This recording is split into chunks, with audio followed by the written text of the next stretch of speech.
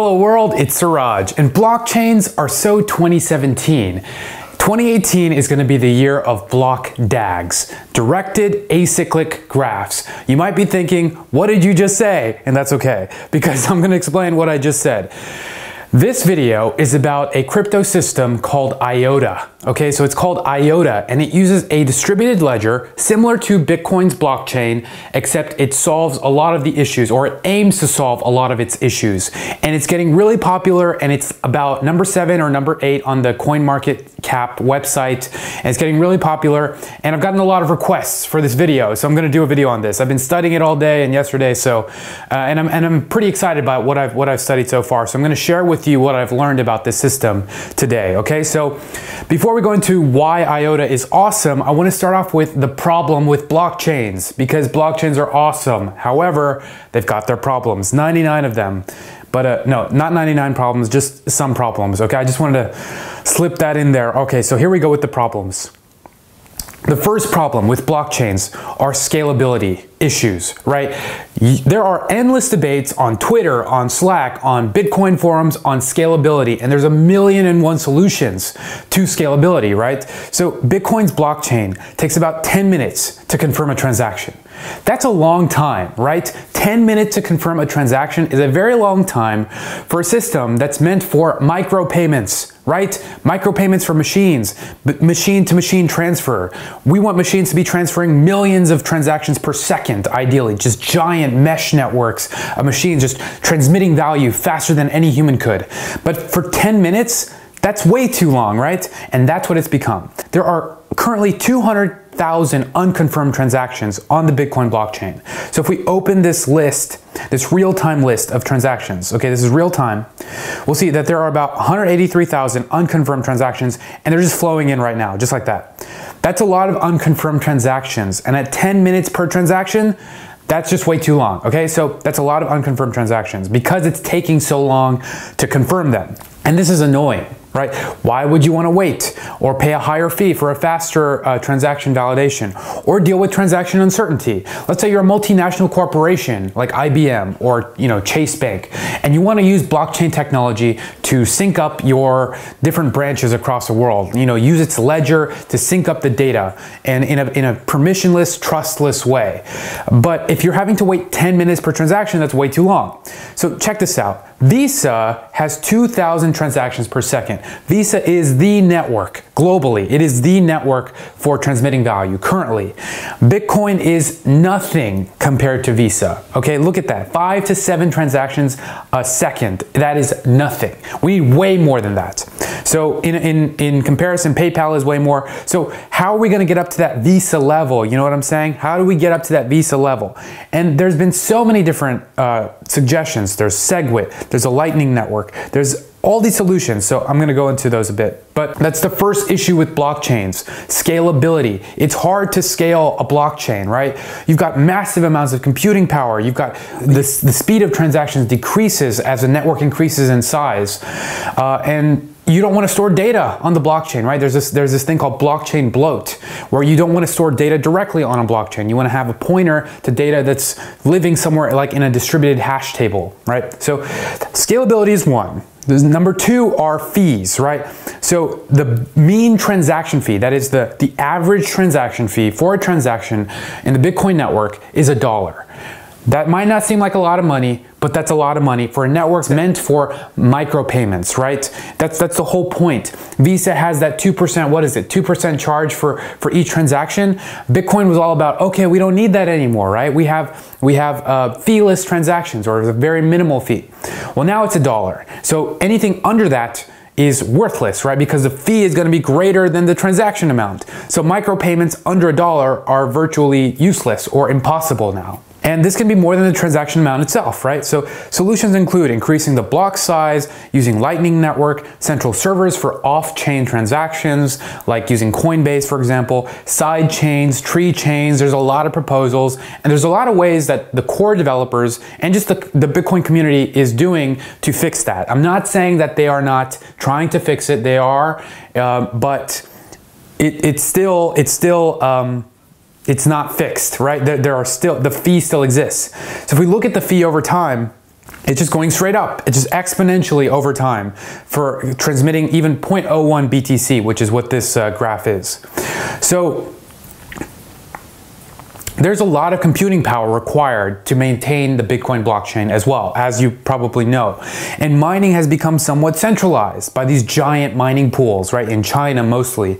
But that's, that's a lot. Like, take, take a look at this chart right here of the distribution of Bitcoin mining power, right? If you look at Ghash and BTC Guild, together they make up 55% of the network. Two pools make up the majority of the network's mining power.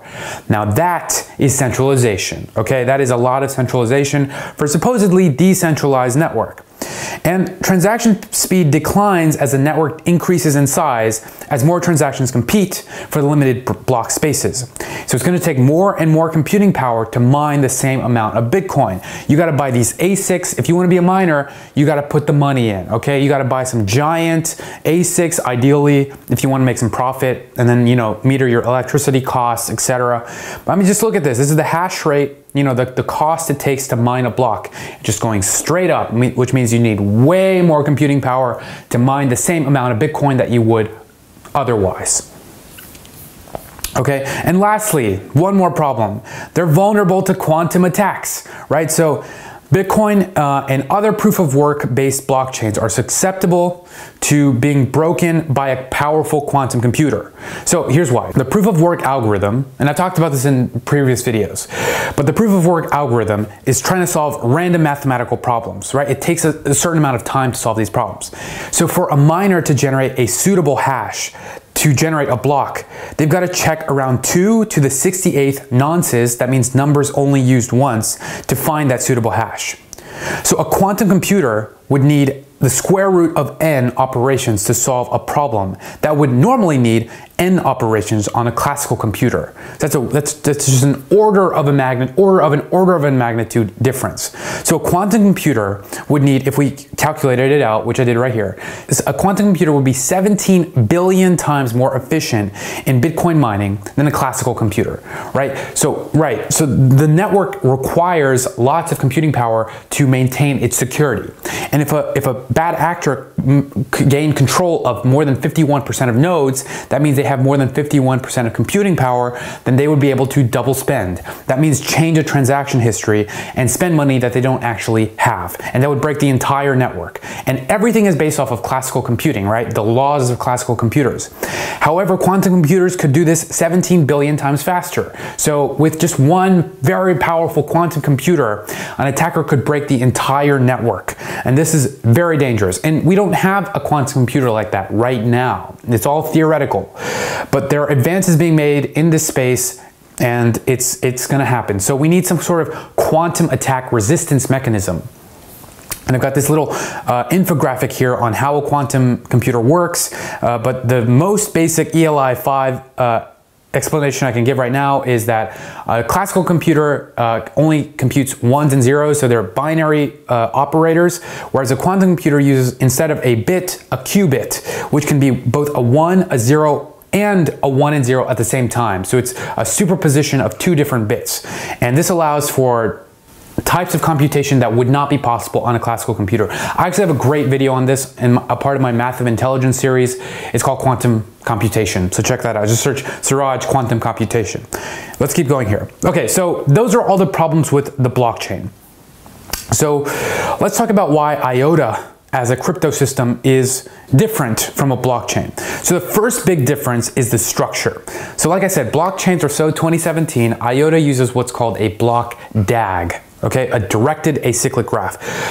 I just want to talk about the directed acyclic graph for a second, okay? So DAGs are not new. A DAG is just a hierarchy of nodes that are connected to each other, where no node is a descendant of itself. That means there are no cycles. That's the word acyclic. There are no cycles, right? So it's just a hierarchy of nodes that are connected to each other in one direction. So there are a million different ways that you could structure a DAG, but that's the basic idea. No cycles in this graph. You could think of a file system as a DAG, right? Because it's just a hierarchy of nodes, right? Folder within a folder within a folder. Git, the, the, the protocol that GitHub uses, that's a DAG. Uh, IPFS is IPFS, the Interplanetary File System, that's a DAG. In fact, You can even think of a blockchain as a DAG, right? Because a blockchain doesn't have cycles, but it's, it's a very specific type of DAG in that it's a singly linked list. It's a glorified singly linked list that is, a, that is secured by the proof of work algorithm. A DAG is more general. Like, so here's, here's an image right here. So blockchains are just blocks that are pointing to each other in one direction and tangle which is what they call which, which is what iota calls its uh, it's another word for its dag. I'm just going to call it dag. Guys i know you i know the iota guys are watching this right now. Let's just call it dag please. Let's not add more terminologies to this just for adoption. So blockchains are sequential chains where blocks are added in regular intervals right? But uh, iota's data structure the dag is able to achieve high transaction throughput by parallel parallelizing validation. No transaction fees occur occurs, occur for any transaction. As it grows, more participants make transactions and the overall system becomes more secure and faster with confirmation times slash transaction finality going down. What that means is as more nodes are added to the network, the network's transactions actually get approved faster. And that's in direct contrast to the blockchain. The more nodes there are, the slower the transactions are approved, right? And the longer it takes for a transaction to be approved.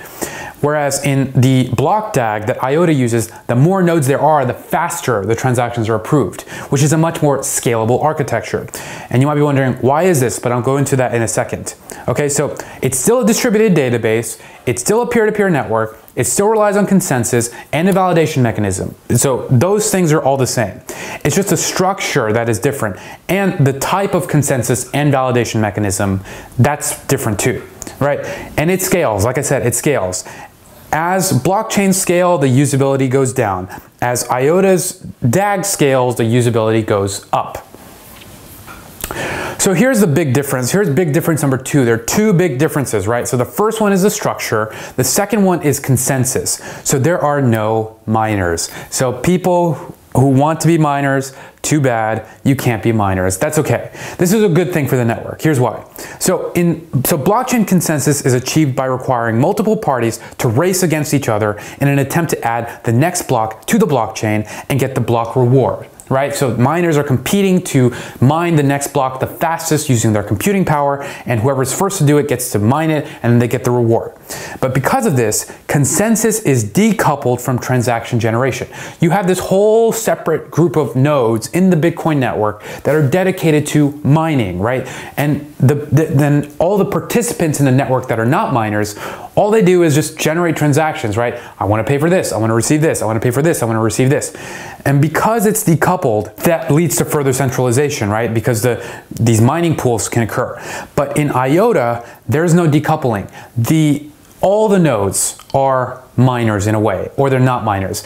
Here's how it works. So in IOTA, every participant in the network making a transaction also actively participates in the consensus. Here's how. Every time you make a transaction, you reference two transactions directly and, and in a way, other transactions in the sub DAG indirectly, just by referencing two.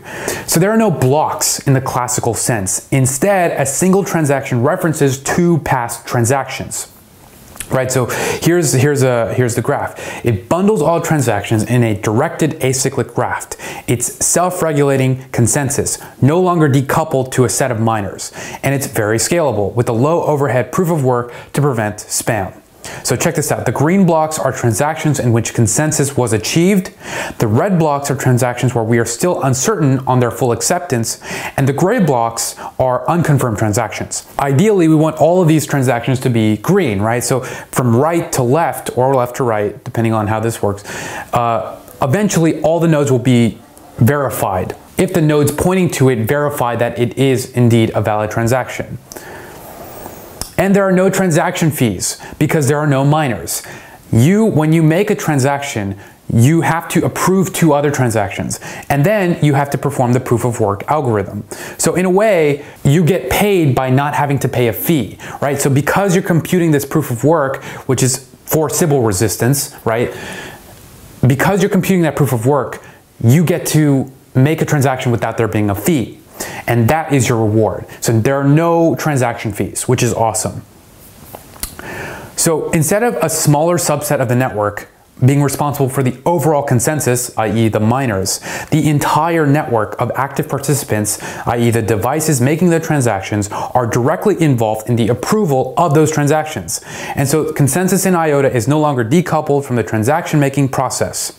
It's an intrinsic part of it, and that's what lets it scale without any transaction fees. Oh, and one more thing, like I said before, it's quantum it's quantum resistant. It's not susceptible to quantum attacks. And why is this? Well, it uses an algorithm called a Winternitz one-time signature. I can make an entire video on how Winternitz one-time signatures work. I'm not gonna do that because it would be too long, but check out the link uh, right here in this Jupyter notebook, which is in the GitHub, by the way. Okay, so here's a little picture of it. Right, so, so here, okay, so you might be confused by this process of making a transaction. Let me clarify it. So it's a three-step process. It's a three-step process. So the first step, like, so let's say I want to pay, you know, I'm a machine, I want to pay this other machine, or even I'm a human, you know, I want to pay this other human. Here's how it works. The first step is to sign the transaction input with your private keys. What that means is you've got a unique set of private keys that identify you as a unique individual node in the network. When you sign a transaction, that you are hashing, you're creating the hash of that transaction using your private unique, unique uh, 25 character key, which means the transaction will be both unique and linked to you. So you sign it with your private key. Then step two is tip selection, right? So tips are the, what IOTA calls these unconfirmed transactions. So it uses the Monte, it uses the Markov chain Monte Carlo algorithm to randomly select two tips. These are unconfirmed transactions, which will be referenced by your transaction. And in the code, these are called the branch transaction and the trunk transaction, right? So once you've signed your transaction, you then point to two unconfirmed transactions that you're gonna have to approve before your transaction is generated and validated. So, so that's, that's what you're paying for this. And step three is to perform the proof of work algorithm. In order order to have your transaction accepted by the network, you need to do some proof of work, similar to Hashcash, similar to Bitcoin, right? And this is for Sybil resistance right? It's all about computing power, right? You don't want any of the nodes in the network to gain control of the network by having the majority of the computing power, and that's what proof of work prevents. Because everyone has to compute this, you know, random mathematical problem, a, a node would have to have more computing power than the rest of the, an attacker would have to have more computing power than, the, than half the network in order to double spend. So proof of work is for double spending. Tip selection is computed using the Markov chain Monte Carlo process. I also have a video on how this works. It's a part of my reinforcement learning series. I could go into a whole video on that, uh, but it's called Monte Carlo prediction. Just Google that. But um, in short, this is a, a probabilistic algorithm that samples randomly using distributions. So it's uh, so so Markov chain Monte Carlo methods sample from a set of nodes randomly using a distribution function. Okay. So once you've completed, completed these three, three steps, your transaction will be broadcast to the network and someone else will come along, choose your transaction in the tip selection process and validate it. And just like that, your transaction is confirmed. So that's why the network gets faster. Transactions get faster as the network scales because the more people there are in the network, the, the faster uh, your transaction will be validated because there are more people available to confirm your transaction, right? So that's why it scales as, as there are more people. Okay, so I do want to say one thing. So there is this concept of the coordinator right now in IOTA. And so the coordinator is, uh, is run by the IOTA Foundation, the people who who you know made IOTA. And the coordinator checkpoints valid transactions, which are then validated by the entire network. Um, it cannot go rogue as this coordinator is being checked and validated by the entire network. But what this means is, first of all, it's very hard to bootstrap a blockchain, right? Because you need, it's, you need a certain amount of nodes there for the computing power to be greater than what an attacker would have, right? In order to uh, gain control of the network. Because Bitcoin is so big as a, as a, as a system, the amount of computing power an attacker would need is way too big, right? But when you're starting a blockchain that relies on the proof of work mechanism, you got to have some kind of system in place to prevent um, a, a, bad actor from taking over, some sort of Sybil resistance. So the way the, the IOTA Foundation has sought to prevent this is by creating this coordinator that is run by them. So it's centralized, yes. It's a centralized node that validates transactions temporarily they've been clear about this since the beginning, which I like. And uh, yeah, it's centralized. That's a bad thing, but it's it's a temporary thing. And uh, I think that I mean their goals and their and their aims and their white paper, it's it's it all seems to be pointing in a decentralized direction. But it's a temporary mechanism to validate transactions at the start. Uh, but eventually, they're not going to need it or want it, and it's going to go away. So I just want to mention that. Okay, so use cases, right? So first is data integrity, right? So uh, there's this mechanism to send messages, secure messages between different nodes in the IOTA network, which allows for uh, nodes to communicate data, right? And because there is this distributed ledger that there is consensus on that is permissionless and trustless, you can you can ensure that the data that is being passed between these nodes is is valid. And data integrity is super useful for any kind of hospital records or you know any kind of secure records that we need to you know government law legal uh, you know anything that needs a lot of security this would be great in a trustless permissionless systems supply chains right importers exporters shipping liners logistic companies right? They're all over the world. They're global and they need to sync up on data and you know what the what the status is of you know delivery and what the status is of this and this and this and this. And that's a perfect use case for distributed ledgers like iota right? And I mean, this, this system was meant for the Internet of Things, right? So and when it comes to the Internet of Things, we are we need ways to share bandwidth, computing power, resources, uh, you know, data, all sorts of these things, and that is what this would be good at. Or any kind of grid as well, solar grid, microgrid services, electrical grid, just any ways to share resources that doesn't need a human in the loop, just automatic systems that are trustless, permissionless, that coordinate uh, scarce resources amongst groups of people. Uh, this would be a great use case. Right, so its key features are infinite scalability, uh, no fee microtransactions, and quantum resistance. Three key features that would be awesome to have. So, I mean, the network already has 100 million in transactions that have occurred without fees.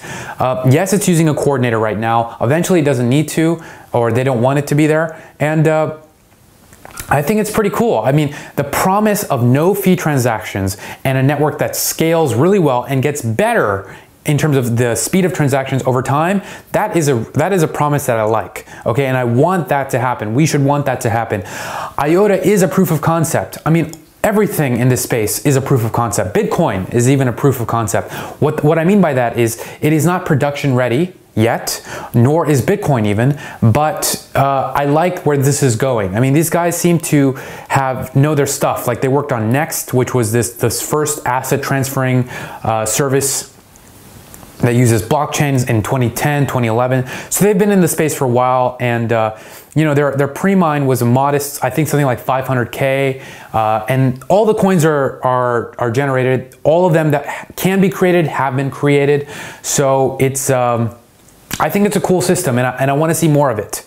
I want to see more development of it, more interest, more excitement, because uh, yeah, we need no fee uh, we need no fee distributed ledger services, right? That's how we're going to really get this Internet of Things, of things that are communicating and transmitting value at millions of transactions per second faster than Visa, orders of magnitude faster than Visa. Screw Visa, we just go a million times a second, okay? That's where we want to be. And if we can just bypass all of these issues that are coming up as the, as the Bitcoin blockchain scales and use something like IOTA, that would be awesome. So I think that yes, there's still some problems and they have a lot of promises, but if they can come through with them, and I think that they can, that would be awesome for everybody. Okay, so uh, let's, let's look at the code for a bit. So they've got this GUI client, uh, which is really cool. If you want to just the easiest way to get started, this would be it. It's built in JavaScript. Uh, you can use NPM to install it. It's based off of the Electron wallet and uh, instructions are here in this GitHub repository. One more thing is the client library in Python. So the base library is in Java, but they've got client libraries in Python, in JavaScript, uh, and in C, I think C as well. But it's all on their GitHub right here at IOTA Ledger, which you can look at right here. Java, they've got the command line app, they've got an Android wallet. Um, yeah, they've got, they've got a lot of repositories here to play with in some different languages. But what I'm gonna do is I'm gonna just download this and just run it just, just cause. So let me download that and I'm going to open in terminal, let's see. Let me go right into that folder.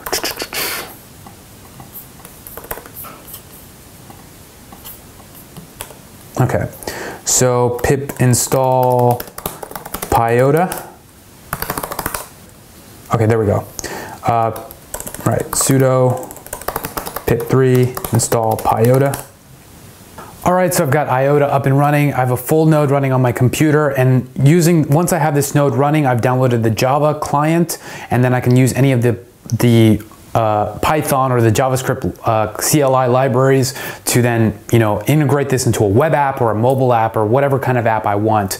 But it's a pretty lightweight uh, client and it's easy to integrate into a web app or mobile app so you can use it for, you know, having an online wallet or whatever payment system or, or any kind of uh, system you want to create. The last thing is how to buy IOTA. So I found this great tutorial on bitfinex.com, which is this website. It's, a, it's an online exchange on how you can buy IOTA with Bitcoin. So it's a five-step process. But first, first step is to make sure your funds are on the exchange wallet. So they have three dedicated wallets that you could use and you can instantly move your funds from one wallet to another on the wallets page, which is right here. And so you can go to the trading page and choose the pair you want to trade, and then there's an order form in the exchange tab. You could click exchange buy, and then the order is going to appear. If you, so you got to have Bitcoin in order to uh, buy IOTA coin, and if you want to buy Bitcoin, then I would suggest using Coinbase uh, as a, the most reliable way to buy them. Uh, it you can do this from virtually any country, I think, at this point. But uh, you link up your credit card or debit card or bank account, buy Bitcoin, and then transfer that Bitcoin to a wallet, and then from that wallet, buy IOTA on Bitfinex. Or uh, there's a couple of exchanges actually, but I think Bitfinex is, is the one to do. Please subscribe for more programming videos, and for now, I think I'm gonna go buy some IOTA, so thanks for watching.